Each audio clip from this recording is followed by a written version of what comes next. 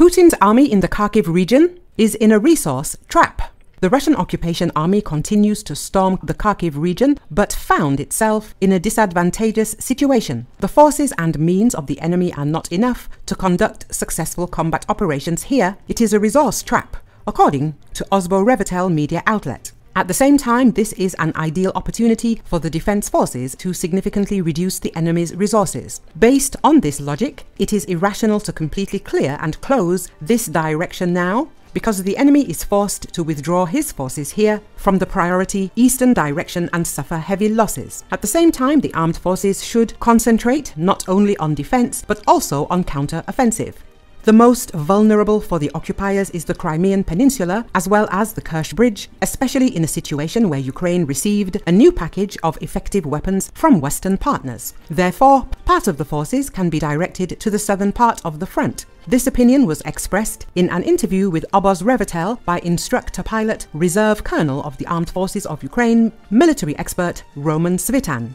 If our actions in the Kharkiv region lead to the fact that the Russians, who have fallen into a resource trap, will transfer reserves here from Donetsk, then perhaps this will become one of our main tasks. Then the enemy will have no mechanisms to press and advance in the east he added, Therefore, I would not say that the main task is to squeeze them out of this direction. In reality, we need to deploy the front line from Kharkiv Oblast to Belarus. The border with Russia should be the front line and should have been so for 10 years. The sooner we rebuild an additional front line, the better. Moreover, since we are in defense mode, it is more convenient for us to solve these issues. And the Russians must be forced to attack, because during an attack, the loss ratio is very high. Based on this logic, we should not squeeze them out, but destroy them. The more, the better. Recently, thanks to the increase in aid supplies from our partners, we can afford it in the Kharkiv direction, Roman Svitan said.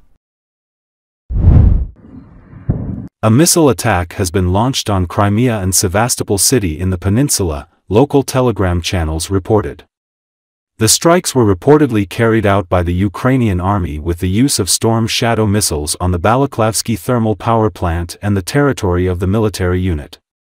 As a result, an explosion and fire occurred. The governor of Sevastopol, Mikhail Razvozayev, said that the air defense system was activated and five missiles were shot down. He also said that several cars were damaged during the attack. No casualties have been reported so far. Участок.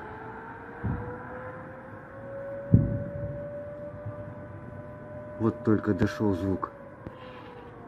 Нихуя себе. Ценный кадр.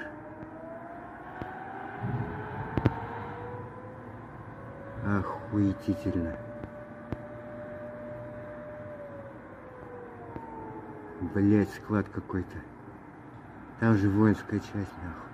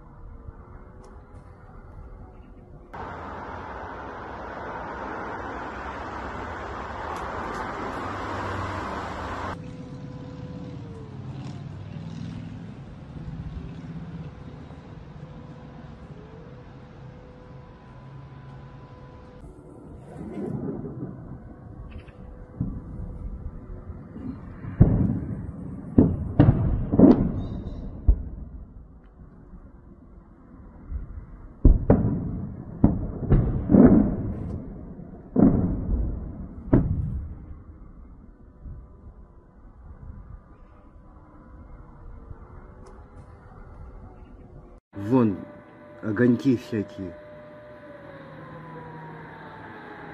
Вон взрыв. Прям, ого, бабахнуло, смотри. Вот это, блядь, вот это да нахуй. Да, Димочка, блядь, ты на, на, на нормальном месте, блядь, купил, блядь, дом, участок.